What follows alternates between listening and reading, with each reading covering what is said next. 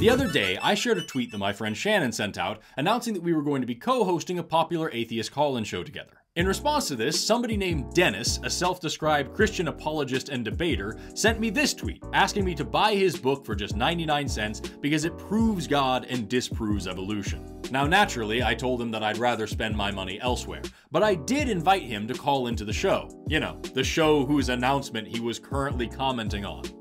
Unfortunately, Dennis declined. A self described Christian apologist and debater. Debate? Nope. Yeah, so much for that. Clearly thinking that money was the issue and not the fact that he had just asked a complete stranger to drop everything, read his book, and answer his challenges, Dennis attempted to send me a copy of his book. But even if I was interested in reading it, the link that he sent was the ugliest thing I'd ever seen in my life, and I didn't feel like getting any malware that day, so I decided to ignore it. Now you may be asking yourself, why am I making a whole video about somebody that I decided to ignore? Well, it's because not even a day had gone by before Dennis made a YouTube video and tweeted it at me several times, demanding that I watch it and defend my atheism with a thread. And just as I was about to fire off a tweet explaining how nobody owes you their time or attention, Dennis, I decided to check the video out to see if it was even worth watching. And let me tell you, it wasn't.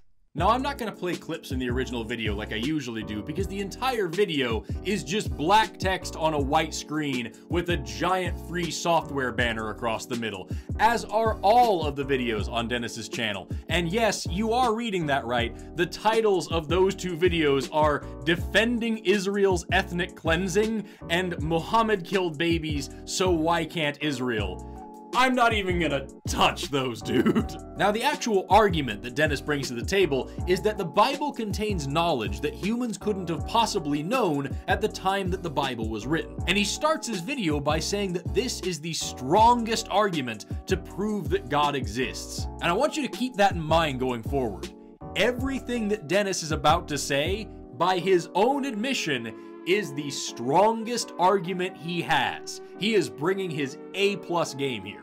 Dennis's first example of the Bible's so-called advanced knowledge is the law of nature. He says that before science discovered that there is a thing called the law of nature, the Bible already told us about it. Now, I think it's important to point out that there is no single defined law of nature in science.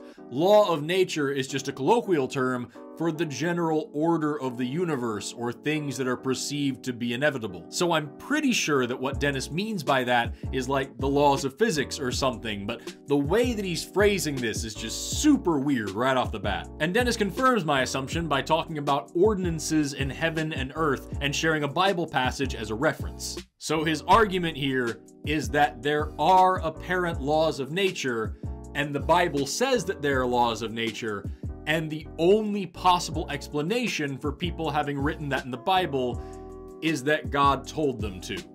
There's just no way that humans could have possibly figured out on their own that there is some sort of order to the universe without either divine revelation or modern science. And what Dennis is clearly missing here is that humans have been able to recognize patterns for a long time. We have star charts written in cuneiform from centuries before the Bible was put together. There are several civilizations that had never heard of Christianity, that existed thousands of years before Christianity, that built whole monuments around solstices and equinoxes and seasons and other regularly occurring natural phenomena. We even have cave paintings from 20,000 years ago that correlate to constellations in the night sky. So the assertion that humans just had no idea that there was any order to the universe before that line was written in the Bible is completely absurd, and it only shows that Dennis has never taken the time to learn anything about the history of science or human civilization. Dennis's next point is that the sun moves in a circuit, and again, he throws out a Bible passage, which you can't even freaking read because it's behind the ad banner of the free video software that he's using. And then he says that science has discovered that the sun does move in a circuit, just like the Bible predicts, and therefore the Bible knew about this before science did. But the Earth moves in a circuit around the sun, which causes visible patterns in the way that the sun appears in the sky, which is obvious to us today, but it wasn't obvious to the people who wrote the Bible. That passage meant something completely different to the people who wrote it and to the countless generations of people over several centuries who believed that the Earth was the center of the universe and the sun and the planets and all the stars all orbited around us. You know, like that one super powerful church that believed in the Bible and declared the concept of the earth going around the sun to be heresy and threatened to torture scientists like Galileo to death for teaching it. By the way, the Vatican did eventually admit that they were wrong about that one in 1992. Finally, Dennis points to this passage, which mentions the circle of the earth, which he says refers to the circumference of the earth or the indication that the earth is round, something that he calls modern knowledge. But again, this is nonsense. First of all, Dennis neglects to mention the parts of the Bible that say that the earth has four corners, or that the earth has edges, or that you can see the whole earth from the top of a tall mountain.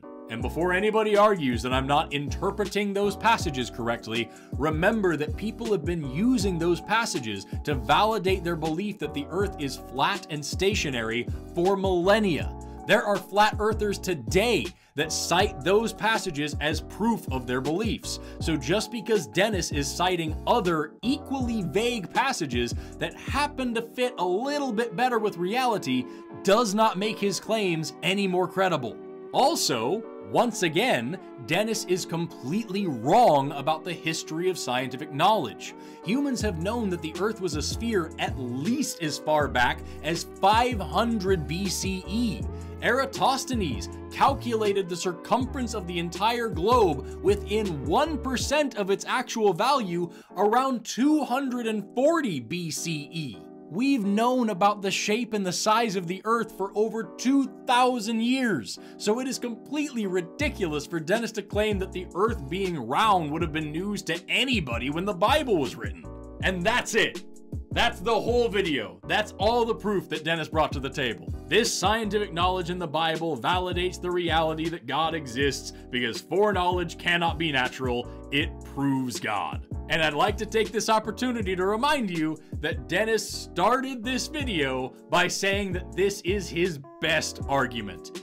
The best that this non debating debater has to offer is that the Bible contains references to things that people already knew about for thousands of years before the Bible was written. Call me crazy, but I'm just not convinced. Unfortunately, this line of not thinking is pretty common amongst apologists. In order to back up the assertion that we couldn't have possibly known about morality or happiness, or in this case, science, without the Bible, they pick a few passages that sorta kinda sound a little bit like our modern knowledge today, and they ignore all of the people who figured this stuff out just fine before or without the Bible or the countless other passages in the Bible that are very obviously scientifically inaccurate. Like in Genesis, where it says that there was a global flood, or in Jonah, where it says a man lived inside the stomach of a fish for three days, or in Leviticus, where it says that insects have four legs.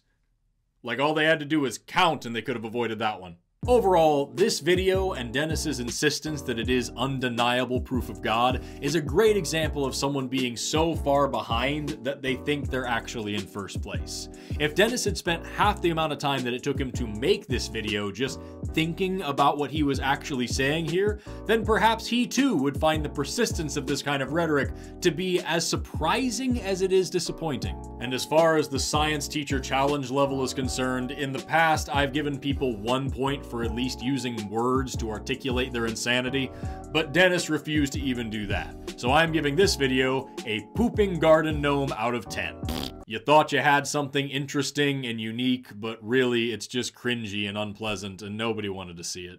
And with that, I'm Forrest Valkai. Thank you so much for watching, liking, commenting, subscribing, and all the other stuff you do here on YouTube. While you're here on my channel, go watch my science road trip video. I wanted to try something a little bit different, and I'm actually really happy with how it turned out. So go check it out and tell me what you think. Have an awesome rest of your day, and never stop learning. Bye-bye.